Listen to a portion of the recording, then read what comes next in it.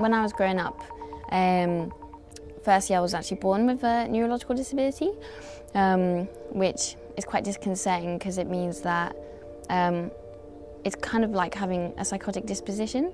So, like, I see like static like particles everywhere and they make patterns, but also like it.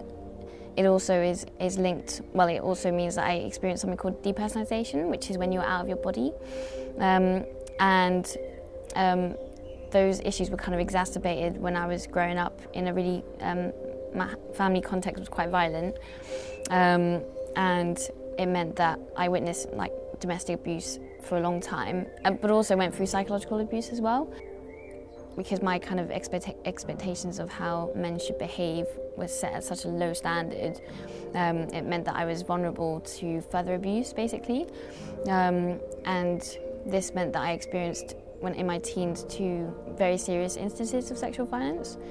Um, and this basically meant that I had a few psychotic episodes.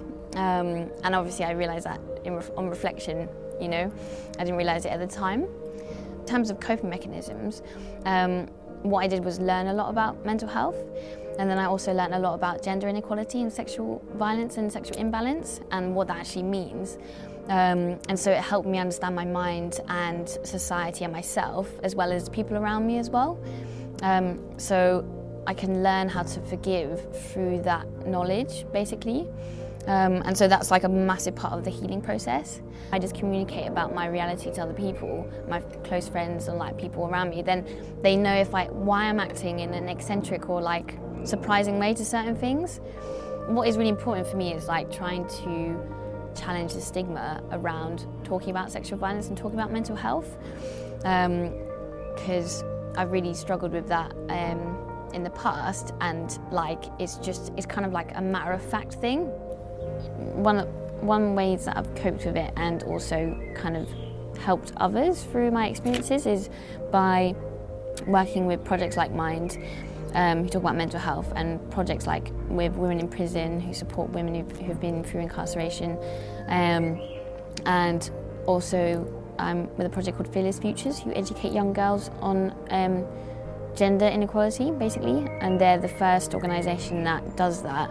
Other ways that I've managed to cope myself has I've kept a blog for the past three years um, and I basically like wrote all my emotions down, my feelings, and like, and it kind of merged itself into like poetry and like kind of like spoken word pieces. What my experiences and the volunteer work that I do really emphasizes how important women's centres are, um, how important rape crisis centres are, uh, how they're fundamental to any sort of expert advice on all these things that like so many women go through. Sex and sexual imbalance is like at the center of so much inequality. Um, and if you teach about gender like full stop you start to learn all the identities and categories that we place people into. If i say i've been sexually abused like the whole stereotype of like a pure woman is disrupted which is why i feel shame about it. And that's a completely ridiculous christian like old school idea that should not apply but it does because these ideas are like way more like um, permanent than we think they are, you know. I'm Nadia Violet and um, I'm colourful, complex and sensitive.